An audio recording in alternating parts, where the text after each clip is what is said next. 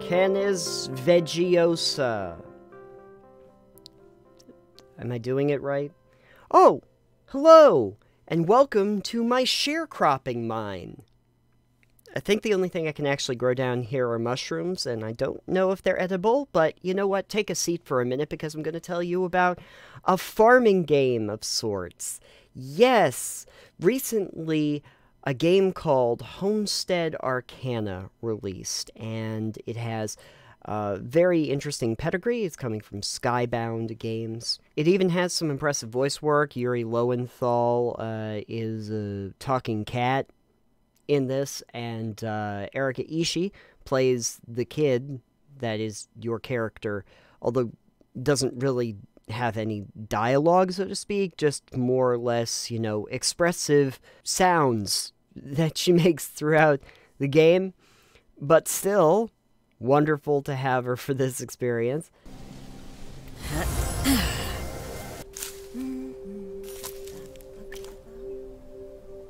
Homestead Arcana is a game that is going to be very similar to other farming games that you might have played, but the interesting little twist here is that you are a witch, and as a witch, you get like magic and stuff that you can utilize in order to, you know, grow your crops or to build your homestead and even to make potions that you will need as you traverse a very dangerous phenomenon affecting this world called the miasma. So there's basically two kinds of gameplay that you see here. There is the stuff that you do on your homestead where you are uh, planting crops and growing them and utilizing them for recipes so that you can fulfill requests from people and you know make more complex recipes of the course of time and then there is the exploration part that happens in something called, as I said, the miasma. And in this place, you cannot stay there for long. When you first enter the miasma, you start to realize that this place is toxic. You would have to hold your breath for an inordinate amount of time in order to stay there for more than just a handful of seconds. Luckily, one of the first upgrades that you get is essentially a Plague Doctor mask, which can then be upgraded throughout the game to allow you a timer so that you can stay inside of that miasma longer. This may start to remind people a little bit of any kind of diving game that you may have experienced where you now have a clock on you as you are underwater. You have to hold your breath. But you're not underwater in this. You are just inside of this infected area that you are not able to actually breathe through. I will say that this is an interesting mechanic because it does put a little bit of pressure on you to know what you're doing when you get into that miasma. You need to have a grasp of the timer that is ticking down as long as you are inside of it, and to be aware that you need to have an exit plan if the timer starts to run out. Sometimes backtracking through the traversing landscape that is beyond that miasma is very tricky to easily traverse back, and there aren't always shortcuts in order to do so. There are also some enemies that you will encounter, but interestingly enough, in this game, you don't really have the ability to fight back. You don't have weaponry in this game to fight back. So, how do you deal with that? Well, that's where your potions come in and your magical ability. You can use potions, down them, and for a limited amount of time, you have access to special abilities that will let you see things that you normally can't see, or turn into shadow for a limited amount of time or slow the world down. And this allows you to get around obstacles, which is really what the enemies are. They're an obstacle to overcome more than anything else. Eventually, after you've spent enough time inside of that miasma, you may, luckily, be able to restore an entire area of the map and cleanse it of that infection, at which point you are now free to roam around it at your leisure. And it unlocks a whole lot of other wild plants and uh, herbs that you are able to use for teas and extracts, etc., back at your farm. The walking around part does get a little bit cumbersome with the backtracking that you have to do continuously, but what I did find interesting is that after you cleanse the first area, you are granted this broom that you are able to ride around on when not in that miasma. So now you actually have a lot more freedom and a lot more speed, and even some uh, racing that you can do from point A to point B as challenges. And this really opens up the world. The problem is that you may not know that when you start into the game, and so it takes a while for you to get to that point, and so you kind of have to stick with it. There is a slow burn quality to this that needs to be addressed. Uh, there are going to be seemingly grindy sections where you have to just accrue a lot of resources so that you can boil them down into recipes so that you can send them off to the necessary people so that you can get uh, new recipes so that you're able to increase your your mask usage or get more life or more magical ability so it's easier for you to get through that section so that you can cleanse it but once you cleanse that first area, you start to realize that the world opens up so much more. It's just, it feels a little bit sloggy before you get to that. And then there is this other problem. Remember that first aspect I was talking to you about the farming? Well, how do you usually do farming in most like cozy games? The Stardew Valleys or the Coral Islands or the No Place Like Homes that I've talked about on this show. How do you typically do that? You, you walk up to the plant and you say, harvest. And you harvest the plant. Maybe plant some new ones and you water them and they come up. Yeah, Homestead Arcana, it's not like that. You find in the miasma certain plants that you can then plant in a designated area of your homestead. You then care for that individual plant use your magical energy to focus on building it up, water it, fertilize it, whatever you need to do. And then you pick the individual fruits off of the plant. And in what I think is a, a really interesting but also kind of annoying thing, I can't just walk up to the corn stalk, for instance, and just get the corn off of it. I have to go into a screen where I am now analyzing and able to go around that corn stalk in like 360 degrees.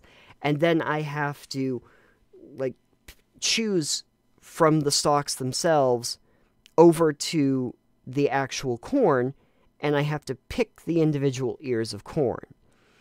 And when you do it the once, it's kind of neat because you can also get the, this these trimmers so that you can trim the plant back and you can use water, fertilizer, and all these different things to maintain the individual plant. But when you start to need to get a lot more of uh, these these products, and you especially get enough where you've completely utilized the space in your garden, going up to those individual plants going into a specific screen, and then having to maneuver myself across all of the branches and leaves to get to the individual fruits or vegetables that I need to get is just a waste of time. It's just annoying that I can't just click on the plant and get all of the stuff that's on the plant. We figured this out a long time ago. It's it's unnecessary busy work for me to get into the minutia of like picking through the plants. There's there should have just there there could have been a quick harvest button or something to make this process easier and faster because then I have to go to my individual grills and, and workbenches and mills and I have to utilize all of that in order to make recipes. and and and teas and stuff so that I can keep my health up and get money and everything like that. There's just weird choices that they make in Homestead Arcana. Like for instance, money. Usually you figure money is just like a thing that you accrue, but in this it's an actual resource that sits in your inventory. Yeah, and, and not only that, but it will only stack to a hundred silver. So if you get a thousand silver from something that you have sold, which is not very common, but it does happen, you then basically wind up with 10 squares of your inventory with a hundred silver each in them. So eventually you have to like create a whole storage bin just to store your money because it's a physical resource and not just something that you have in a coin purse, something something like that. Uh, very odd, like just some some odd choices.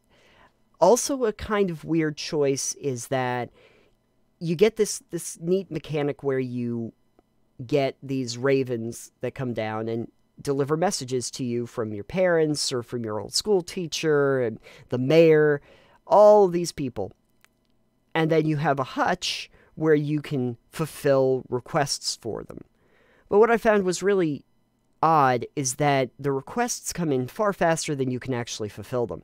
And before you know it, you have this stacked log of quests that you have to go through and analyze, and keeping track of what you need to give them can be a chore into and of itself.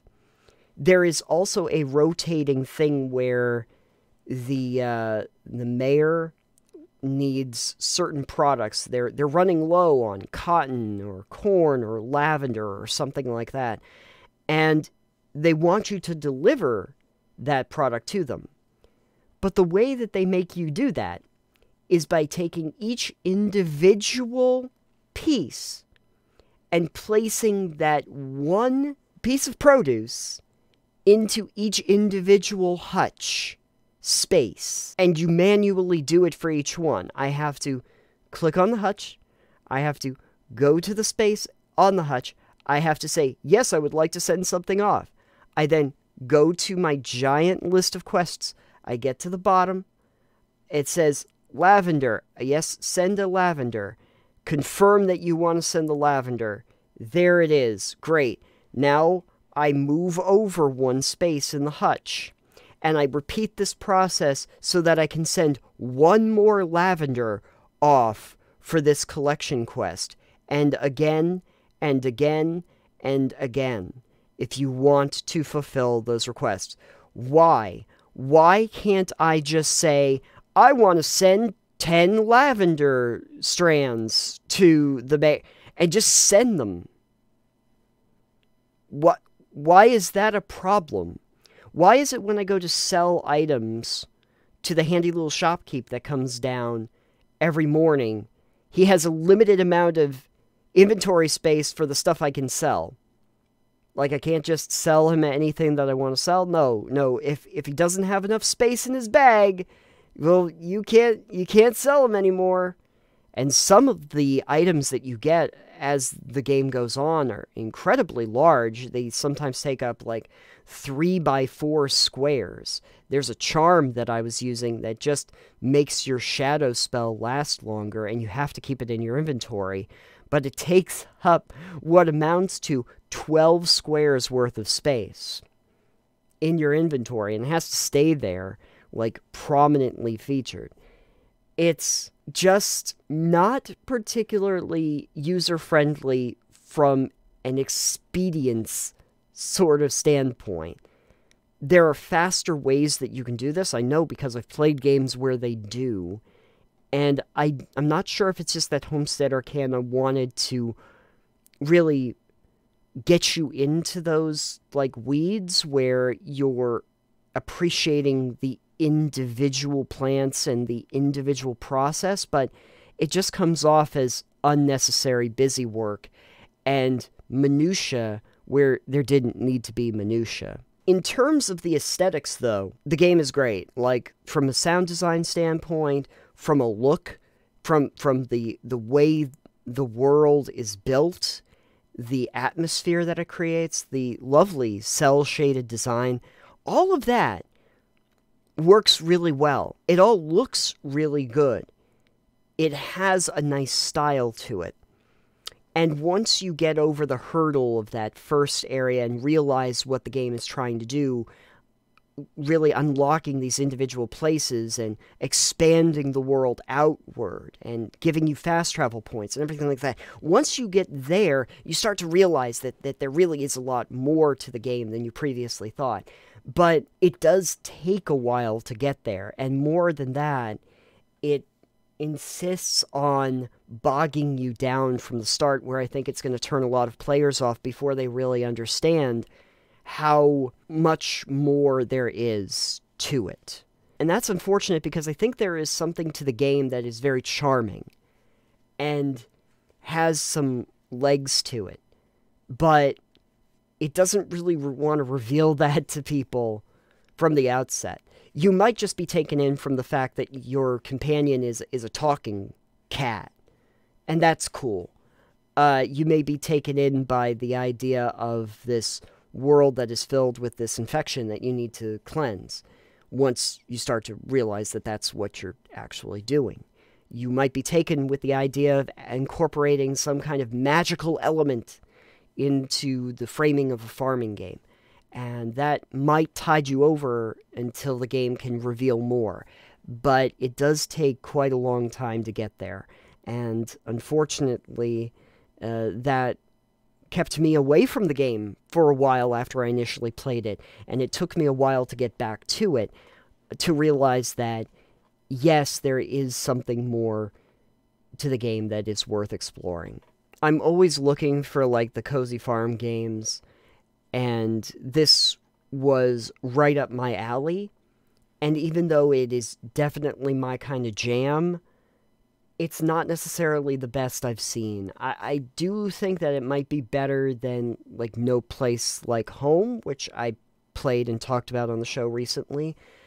Mostly because that game focuses mainly on tearing down mountains upon mountains of trash. But at the same time, it is nowhere near the best examples of the genre that I could give. Speaking of the best examples of the genre that I could give, this is the part where I suggest another game that you might want to play. And nope, we're not going to do Stardew Valley. Nope, we're not going to do Coral Island. Talked about that on the last one. Uh, I'm going to give you a different one. Uh, actually, one that I really did like a whole lot that is in this genre that I don't get to talk too much about, which is My Time at Portia. My Time at Portia is one of these games that focuses less on the actual farming aspect and more on the building aspect, where you get your father's old workshop in this town of Portia and you get to use it to rebuild the town, uh, build up the infrastructure, the taxi cabs that they use, the elevators that allow you to get to new places, bridges to previously inaccessible areas that the town had never been able to get to. And it is charming in that regard. I have not gotten a chance to play My Time at Sandrock, which is the new one in that series, but I know that it's uh, kind of similar in its framing.